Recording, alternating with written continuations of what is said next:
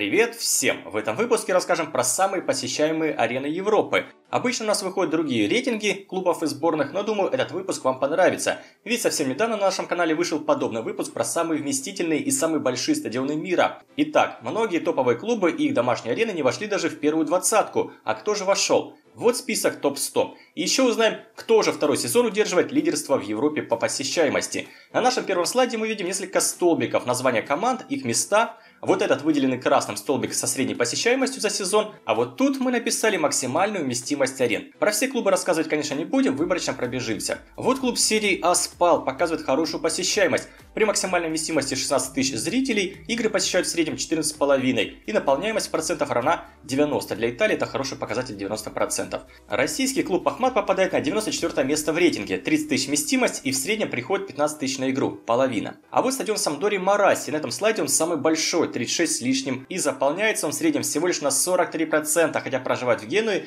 500 тысяч жителей. На 89 место попал российский Урал, почти 36 тысяч вместимость, и приходит на игру 16 575 человек, что равно 46 от общей вместимости стадиона, при том, что проживает в Екатеринбурге почти полтора миллиона жителей. Обратите внимание на бельгийский Гент, 85% средней заполняемости в чемпионате, на 87 строчке рейтинга посещаемости Локомотив. Ход на игры команды 17 тысяч, что равно 62 от вместимости стадиона. este Следующий слайд. Да, хочу сказать, что тут представлены команды только из топ-10 чемпионатов от Испании до Турции. И представлены только элитные дивизионы этих стран. Итак, испанский Испаньол 84 место. Как для такого сильного чемпионата посещаемость, конечно, слабовато. Всего стадион бывает заполнен в среднем на 43%. 80 место у турецкого Бешикташа, 18 тысяч болельщиков входит на игру, что так же, как и у Спаньола, около 43% от максимальной вместимости. Смотрите, какие умнички проживают в Берли. Проживает в городе 73 тысячи жителей и приходит на игру каждый четвертый. И средняя заполняемость 83%. Но в Англии хорошо заполняются стадионы, про это еще дальше убедимся.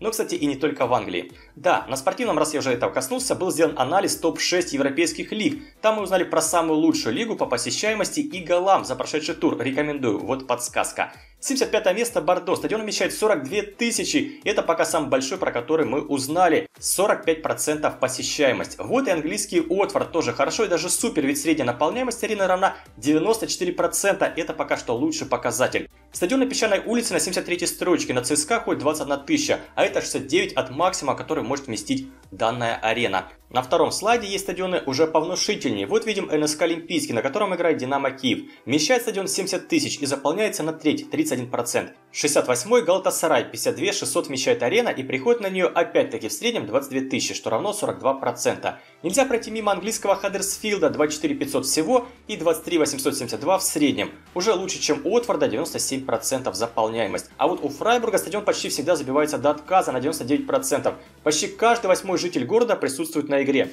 Новые российские стадионы, построенные к чемпионату мира, делают свое дело. И на 61 месте Самара, точнее Крылья Советов. Средняя заполняемость 53%. Это около 24 тысяч болельщиков присутствуют на играх. Французский Страсбург и бельгийские Брюги почти близнецы. У них одинаковая максимальная вместимость, около 29 тысяч. И почти одинаковая заполняемость на играх, 24-25 тысяч, что равно около 80%. А вот английско-немецкий дуэт Кристал Пэлас Вольсбург, превосходная посещаемость этих лиг. А у самих команд стадионы заполняются в среднем на 84 и 98% соответственно. 40-тысячный стадион в Европе уже считается более чем средний. У Сент-Этьена из Франции есть такой 42 тысячи и приходит на него 26, 63% заполняемость. У Байера хороший показатель 26 821 на игре, что составляет 88 от максимума. Брайтону не хватает 3000 человек, чтобы был аншлаг на каждой игре. Лестер чем-то похож на Байер, 32 тысячи вмещает эта арена, и в среднем она заполняется на 85%. Обратите внимание на Трабзон, 28 тысяч присутствуют на играх, это лучший показатель на данный момент в турецкой лиге, 68% средняя заполняемость этой команды Трабзонспор. Да, я тоже думал, что в Турции будет лидировать совсем другой клуб. Еще два немецких клуба Аусбург и Хофенхайм, почти у них идентичные ситуации с посещаемостью и вместимостью, и высокие проценты 91. Вот и немецкий Лейпциг 42,5 вместимость арены, и она примет участие в чемпионате Европы 2024 года. На игры Лейпцига приходит столько же зрителей, как и на Хофенхайм и Аусбург, но в процентном соотношении они уступают 67%. У английского Вулверхэмптона и его стадиона 94% заполняемость на игру, а вот для Ферентины стадион, видимо, немного большой, хоть и приходит прилично 30 тысяч,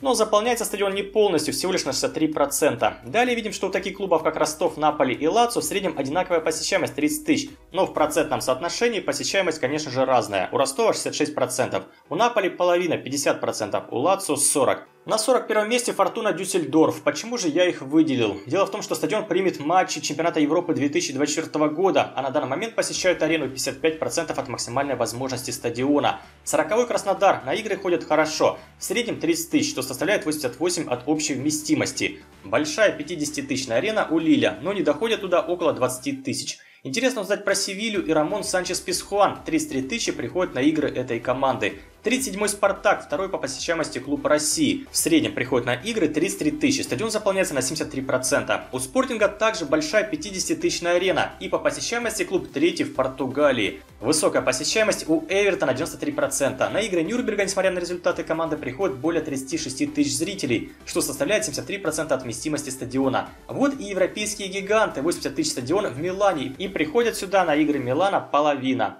Хорошая посещаемость у Бетиса более 39 тысяч зрителей, 66%. У Ювентуса относительно новый стадион 2011 года, но клуб его уже перерос, и его 41 тысячу. На игры клуба почти всегда аншлаг 96%, но это не самый посещаемый стадион Италии. А кто же тогда из итальянских клубов лидер? Скоро узнаем. Терпение, друзья.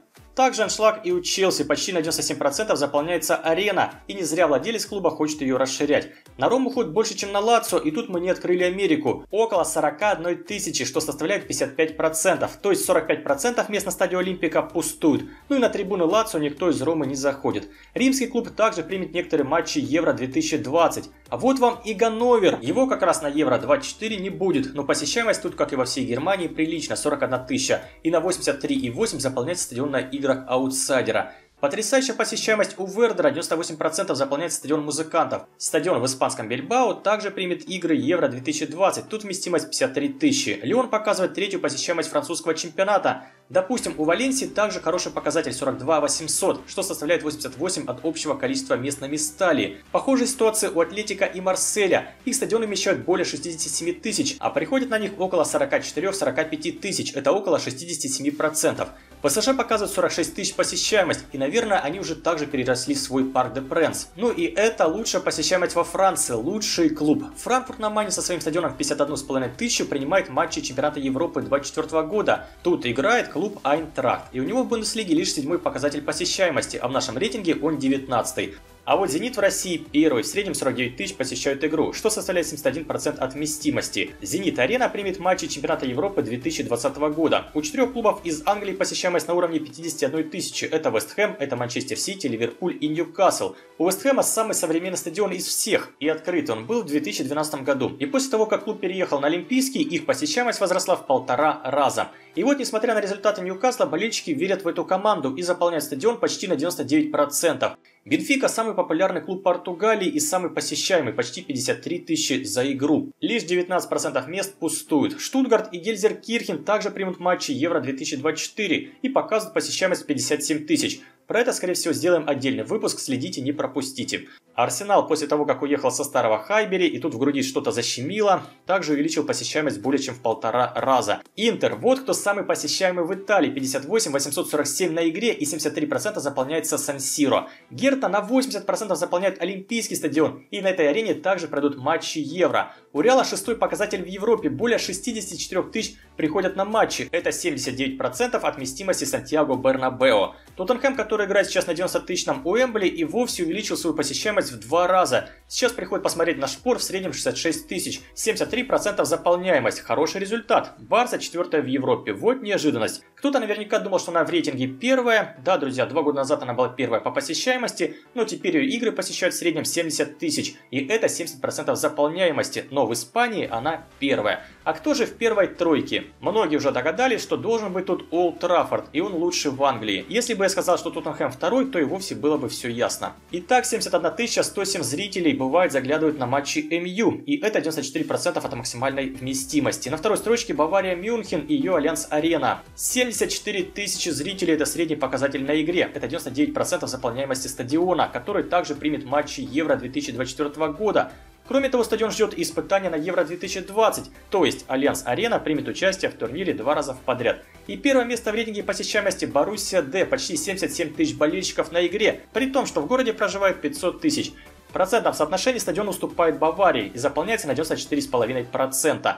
Боруссия уже второй сезон удерживает тут лидерство. Так как рейтинг у нас самых посещаемых стадионов, наверняка будет от вас вопрос, а где же Гамбург? Будем честны, да, средняя посещаемость этого клуба, так же как и у Кёльна, около 50 тысяч за игру. Но в наш топ они не попали, так как играют во второй лиге немецкого футбола. Еще раз скажу, что все цифры берутся в среднем, где-то на игры приходит больше, где-то меньше. Загляните еще в выпуск про номинатов на золотой мяч от Франс Футбола и смотрите другие выпуски, которые были порекомендованы тут. Оцените это видео, если считаете рассказ потрясающим, с вас лайк. Можете спросить и про клуб, который не вошел в этот рейтинг, мы вам ответим. Услышимся!